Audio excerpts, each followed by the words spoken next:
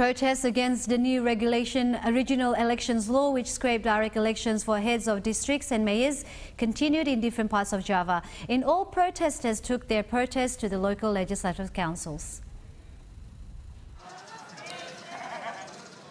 A number of protesters in Yogyakarta who claim to belong to the Committee on the Action of Yogyakarta Community said the new law was robbing the people of one of their political rights. They also said that the passage of the new law undermined the already thin trust public has on legislators. During the rally, protesters brought a large envelope containing a petition to be sent to the Constitutional Court. Poin besarnya aja, poin besarnya yaitu pertama kami e, menyampaikan keprihatinan kepada MK, yaitu pertama tentang penolakan kami terhadap pilkada langsung. Yang kedua ya semacam peringatan, semacam peringatan ketika suara kami tidak didengarkan. Langsung dikirim ya?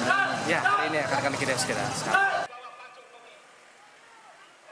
In Jember, East Java, protesters took to the street to reject the new law. Protesters carrying posters said the return of indirect elections was also the return to the system prevailing for three decades under the authoritarian rules of President Suharto. They also said that the new law turned Indonesia from a democracy country into a patriarchy.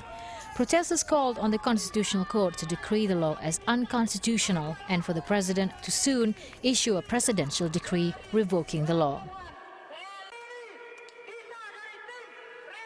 Tujuan kita untuk melakukan turun jalan hari ini adalah untuk melakukan penolakan membela kepentingannya secara tidak langsung. Di mana bagi kami masyarakat Jember eh, adanya RUU Pilkada yang sudah disahkan oleh DPR ini sangat membahayakan demokrasi rakyat.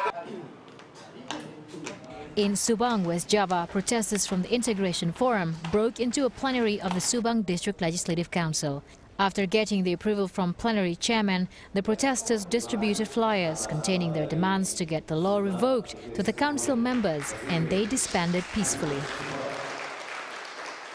Ya, itu kan sebuah bentuk kekecewaan kami atas nama uh, rakyat yang memiliki hak suara, uh, kedaulatan suara kan itu yang hari ini sudah dirampas oleh uh, dewan yang di mana undang-undang terkait dengan pilkada tidak langsung.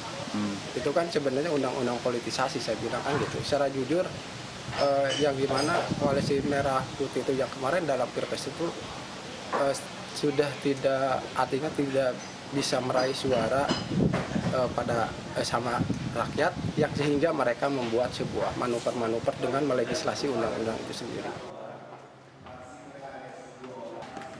The House of Representatives last month passed the draft law on regional elections that scraped direct regional elections. The move has prompted daily protests rejecting the elections that is deemed to be damaging to the democracy that has been painstakingly built in the past 16 years.